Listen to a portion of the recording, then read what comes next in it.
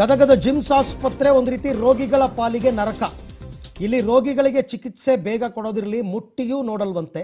ಸಿಬ್ಬಂದಿಯ ನಿರ್ಲಕ್ಷ್ಯದಿಂದ ಜಿಮ್, ಜಿಮ್ಸ್ನಲ್ಲಿ ಈ ಥರ ಅವ್ಯವಸ್ಥೆ. ನೋಡಿ, ದೃಶ್ಯ ನೋಡಿ, ನಾವು ಹೇಳೋದಕ್ಕಿಂತ ಎಲ್ಲೆಲ್ಲಿ ಮಲಗಿದ್ದಾರೆ ಪಾಪ ಅಂತ. ಸುಮಾರು ಇನ್ನೂರೈವತ್ತು ಜನ ಗುತ್ತಿಗೆ ನೌಕರರಿದ್ದಾರೆ. ಕೆಲವರನ್ನ ರೋಗಿಗಳ ಸೇವೆಗೋಸ್ಕರನೇ ನಿಯೋಜನೆ ಮಾಡಿದ್ದಾರೆ. ಐವತ್ತು ಸ್ಟ್ರೆಚರು ಮೂವತ್ತು ವೀಲ್ ಚೇರು, ಮಹಡಿಗೊಬ್ಬೊಬ್ಬ ನಿರೀಕ್ಷಕ. ಹೀಗಿದ್ದರೂ ರೋಗಿಗಳನ್ನು ಶಿಫ್ಟ್ ಮಾಡೋದಕ್ಕೆ ಸಿಬ್ಬಂದಿ ಮಾತ್ರ ಸಿಗಲ್ಲ.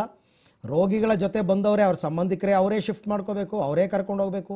ಶುಚಿತ್ವ ಇಲ್ಲ, ಗಬ್ಬು ವಾಸನೆ. ಇದೆಲ್ಲವನ್ನ ಕೇಳಿದ್ರೆ ಎಲ್ಲನೂ ಸರಿ ಮಾಡ್ಬಿಡ್ತೀನಿ ಅಂತ ಜಿಮ್ಸ್ ನಿರ್ದೇಶಕರು ಹೇಳ್ತಾರೆ. ಗದಗ ಜಿಲ್ಲೆ ಸರ್ಕಾರಿ ಆಸ್ಪತ್ರೆ ಅವ್ಯವಸ್ಥೆ ಆಗ್ರವಾಗಿದೆ ಇವತ್ತು ಯಾವುದೇ ರೋಗಿಗಳನ್ನು ಕರ್ಕೊಂಡು ಹೋದರೆ ಅಲ್ಲಿ ಸ್ಟ್ರೆಚರ್ ಕೂಡ ಇಲ್ಲ. ನೋಡಿ, ಜಿಲ್ಲಾ ಆಸ್ಪತ್ರೆ ಅಂತಂದ್ರೆ ನೂರಾರಲ್ಲ, ಸಾವಿರಾರು ಕೋಟಿ ರೂಪಾಯಿ ಅನುದಾನ ಬರ್ತೈತಿ. ಅಲ್ಲಿ ಒಂದು ಸ್ಟ್ರೆಚರ್ ಇಲ್ಲ ಅಂತ ದುಸ್ಥಿತಿಗೆ ಗದಗ ಜಿಲ್ಲೆ ಜಿಲ್ಲಾ ಆಸ್ಪತ್ರೆ ಬಂದಿತ್ತಂದ್ರೆ ಇದನ್ನು ನಾವು ಖಂಡನೀಯ ಅಲ್ಲಿರುವಂಥ ಅಧಿಕಾರಿಗಳು, ವೈದ್ಯಾಧಿಕಾರಿಗಳ ಬಗ್ಗೆ ಅಂತಂದ್ರೆ ಪೇಷಂಟ್ ಅಂತಂದ್ರೆ ಅವ್ರಿಗೆ ಕಿಮ್ಮತ್ತೇ ಇಲ್ಲ. ಅವ್ರಿಗೆ ಒಂದು ಏಳಷ್ಟು ಅವ್ರ ಬಗ್ಗೆ ಯೋಚನೆ ಇರೋದಿಲ್ಲ.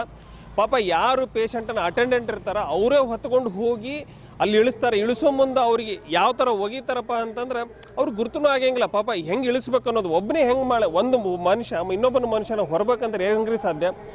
ಗ್ರೂಪ್ ದರ್ಜೆ ಗ್ರೂಪ್ ಡಿ ದರ್ಜೆ ನೌಕರರು ಎಲ್ಲಿ ಹೋಗಿದ್ರು?